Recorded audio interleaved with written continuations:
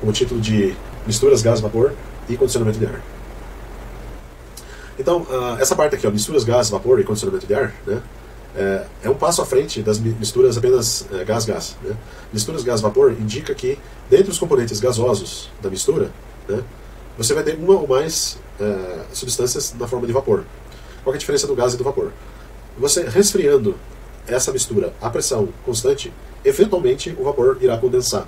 Ou seja, você vai ter um líquido caindo fora daí, é, dessa mistura gasosa. Né? Então, quando, por exemplo, nós vemos é, misturas de gases, né, a, a, gente só fica naquele regime em que todos os gases, né, todos os componentes da mistura, eles vão permanecer gases por todos os processos. Tá?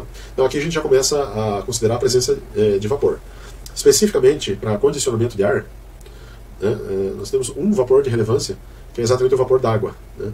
Então, na prática, né, é, mistura contendo um, mais, um ou mais gases né, e um vapor, que é o vapor d'água, é esse voltado à aplicação de condicionamento de ar. Né? Então, nesse tópico uh, de hoje, nós vamos ver ar seco, né, o que é ar seco, o que é ar atmosférico e algumas medidas de umidade. Então, uh, a gente vai tratar de algumas definições né, de ar seco e ar atmosférico. Né, vamos falar de pressão de vapor e vamos falar daí de umidades, né, tanto específica né, quanto relativa do, do ar. Né. Inclusive é um termo que a gente escuta né, em meteorologia, né, a umidade relativa é tantos por cento. Né. Então, exatamente isso a gente vai ver o que, que é. Tá, então, apresentação baseia-se nas referências né?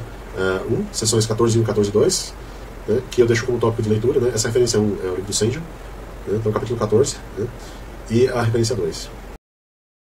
Então, o ar atmosférico né? é uma mistura é, predominantemente né, dos gases nitrogênio e oxigênio, tem outros gases também, né? deixo ali uma referência 3, né? e vapor d'água. No caso, a presença de água no, no ar atmosférico né, fica bastante evidente quando esse vapor condensa e forma, como está ilustrado aí, formam nuvens, né? como essas aí. Então o que a gente pode é, dizer é o seguinte, que as nuvens elas é, são formadas por, por partículas né, é, de água que não estão na fase gasosa. Veja que eu falei em que fase que elas não estão, né, ao invés da fase que elas estão. Por quê? Porque de vapor pode se transitar para líquido ou para sólido. Né? De vapor para líquido, a mudança de fase chama-se condensação. A mudança de fase de vapor para sólido e de sólido para vapor, em português tem o mesmo nome, infelizmente. Então, chama-se sublimação. Né? É, em francês, essa situação é um pouquinho melhor, né? porque em português você diz assim, sublimou. Se você falar só que sublimou, eu não sei o que aconteceu. Eu não sei se foi um sólido que virou vapor, né? que seria o caso ah, de uma da água que está numa roupa molhada estendida no varal no inverno canadense. Então, vou pegar ali, né, um país bem norte, bem, ah, bem frio.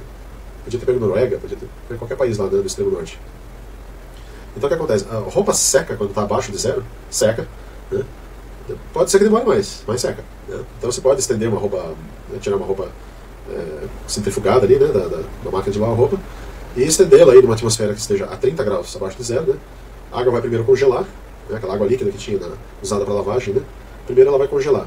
Mas esse gelo exposto à atmosfera, né, numa temperatura bem baixa, o sólido é, pode sim sublimar.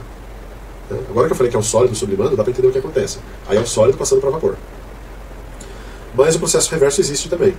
Né? E que, infelizmente, no português tem o mesmo nome, que é o, a passagem de vapor direto para sólido. Né?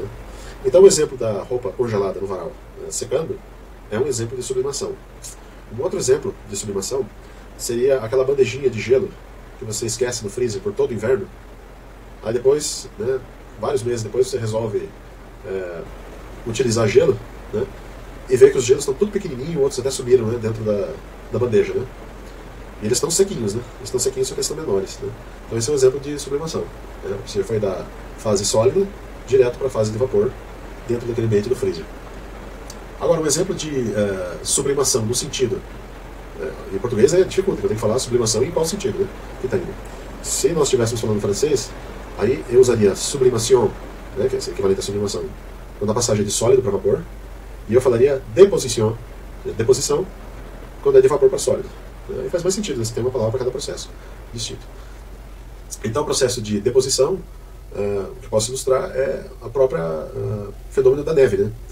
Você tem o vapor d'água numa fase gasosa, né, na fase de vapor, e esse vapor pode se depositar, né, ou sublimar, em português, uh, direto na fase sólida. Né? Aí você vai ter cristais de gelo aí flutuando, fazendo nuvens também. E se você tem uma, uma deposição muito rápida, né, aí você pode formar flocos, e esses flocos caírem aí, né, no formato de neve.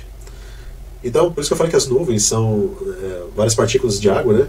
Que não estão na fase gasosa. Elas podem estar na fase líquida ou na fase sólida. Pode ser uma poeirinha fininha, né? De partículas sólidas, né? Cristalzinhos de, de gelo. Ou podem ser gotículas de água líquida, né? No caso, pessoal, tem uma regra assim aproximada, que se as nuvens são escuras, né? Elas são de água líquida, né? E se as nuvens são bem, bem, bem branquinhas mesmo, bem farelinho assim, elas são de gelo, né? Tá? Então, a quantidade de outros gases em vapor d'água é pequena, né? já que nós falamos N2, O2 e outros gases e vapor d'água. Né? A predominância é realmente N2 e O2, né? mas a quantidade de outros gases em vapor d'água é pequena. Né? Mesmo, uh, só que em certas né, uh, quantidades o, o vapor d'água pode predominar facilmente sobre os outros, os outros gases. Né? O ponto aqui é que esses outros gases realmente são parcelas muito pequenas. Né? Vocês podem ver na, na referência 3 lá que tem uma tabela. Né? Nós chamamos então um ar isento de vapor d'água, né, nós chamamos ar seco. Então o ar seco daí é uma, puramente uma mistura de gases, né, não é mistura de gás e vapor. Então o ar seco né, fica sendo então essa definição.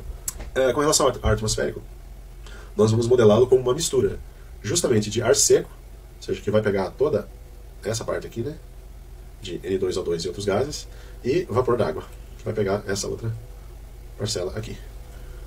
Tá? Então essa é a modelagem que a gente vai fazer. Então, nós não vamos, é, assim, só, só explicando essa escolha. Né? Quando você modela com um ar seco de composição fixa e vapor d'água, né, a única coisa, caso hajam ah, condensações e evaporações, você vai estar variando apenas essa quantidade né, relativa dentro dessa, dentro do ar seco, sem mudar as proporções, né, de, é, essas proporções aqui de N2 para O2, N2 para outros gases.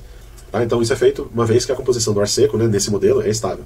Então, normalmente a gente não vai ficar mexendo nessas proporções aqui dentro desse componente aqui. Né? É claro que se eu coloco mais né, ou menos vapor d'água na mistura, né, a quantidade de N2 e O2 dentro do total vai variar, mas não dentro do, da, da parcela, né, do grupo né, ar seco. Tá? Então, é, mais um motivo né, de, de optar pela mistura de ar seco e vapor d'água se dá pelas magnitudes das interações energéticas. Né? Então, porque água, né, vocês lembram lá de termodinâmica A, que uh, calor latente de evaporação, né, que é o mesmo de condensação ou de sublimação, né, para ir de volta, né, ou, ou, como diz o francês, né, sublimation, deposição, essas interações energéticas o vapor d'água, em termos é, por quilograma, né, elas são muito grandes. Né, ou seja, a água requer muita energia para evaporar, né, e ela fornece bastante energia, né, a mesma quantidade de energia, ao se condensar. Né. Então, é, isso justifica né, fazer essa modelagem de ar seco né, e vapor d'água, esses dois componentes pelas importantes, pelas importâncias aí da, das interações energéticas. Já que o, o, o, ar atmosférico é assim, e a própria figura e o pano de fundo aí, né, essa, essa figura aí, mostra que tem bastante água, né, apesar de ser percentualmente é, não, não muito, né, mas o volume total de água né, em suspensão aí na, na atmosfera é gigantesco. Né. Então, ah, até deixo uma tarefa para vocês. Ó. Tente achar uma tabela, tabela termodinâmica né, e compare o calor latente de mudança de fase líquido-vapor para a água e para o CO2. Vocês vão ver que é absurdamente diferente os valores né, em favor da água. Né? Então, a água tem maior calor específico, né, então mesmo não mudando de fase, né, o CP da água, CP e CV da água né, são 81% maiores do que uh, o CP da, do ar. Né? Então, o CP da água é, eu, eu, confundi, eu vi CP e vírgula V. V de vapor, tá? Então não é CP e CV.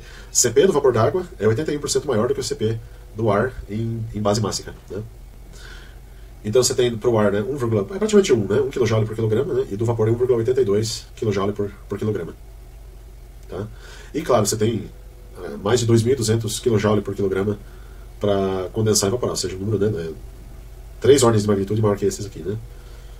Então realmente a, a água é bastante importante energeticamente na mistura né, do, do, ar atmosférico. Né? Nesse estudo aqui, quando a gente vai falar de misturas do, do, ar atmosférico, tá, os processos que tipicamente acontecem, é, a faixa de temperaturas que nós trabalhamos é muito mais estreita do que, por exemplo, aquelas que a gente vê em ciclo Rankine, em ciclo Brighton, né? Porque lá você tem temperaturas, é, vapor a 700 graus, você tem, né, é, no ciclo Brighton, né, esses mil graus né, a, a, na chama, né, combustível. E nessas aplicações, a faixa de temperatura é muito estreita, né, as temperaturas atmosféricas. Né. Então, o próprio livro, né, o autor, ele propõe algumas simplificações. Né. Então, a, a, entalpia específica né, do ar seco, né, ele aproxima-se né, com sendo CP do ar vezes T. Veja que esse T aqui, pessoal, é, ele está numa fonte sem serifa, né? Ou seja, o, o T ele é, ele é simples, né? Ele é, ele tem assim. O que, que é a serifa? A serifa é aquela, coisa que se coloca aqui na, na ponta né, da, do caractere para como esse aqui, né? Esse é sem serifa. Então esse é 100, né? E acho que eu não vou ter fonte aqui, né? Mas, mas tudo bem, acho que vocês já entenderam, né? A diferença. Então, uma fonte serifada ela tem esses enfeites aqui nas, nas, nas pontas né, da, dos caracteres. Né? Então, aqui, quando eu usar esse T é, sem serif, né, que em francês é sans serif, que dá o nome de várias fontes, né, ou de uma classe de fontes, aí refere-se à temperatura em graus Celsius. Né? Tá? Deixa eu voltar para essa ferramenta aqui. Então, refere-se à temperatura em graus Celsius. Então, o, a entalpia do ar seco né, vai ser aproximado como CP do ar vezes T, né, em graus Celsius. Fica essa expressão aqui. A, a variação de entalpia do ar seco né, vai ser o CP do ar vezes a variação de temperatura, o delta T. Né? E aqui a gente tem uma. Né, o delta T em graus Celsius né, é igual ao delta T em Kelvin. Né? Então, para dizer que tem Kelvin, vou deixar bem evidente aqui a, a serifa. Né? Então, esse delta T em Celsius é igual ao delta T em Kelvin. E a entalpia do vapor, né, numa faixa estreita né, de, de temperatura da, da, aplicação de condicionamento de ar, né, pode ser dada por essa constante aqui, né, 2.500,9 kJ por quilograma, mais 1,82, que é o CP do, do vapor d'água, né, 1,82 a cada grau Celsius. Né, então, vezes esse T aqui.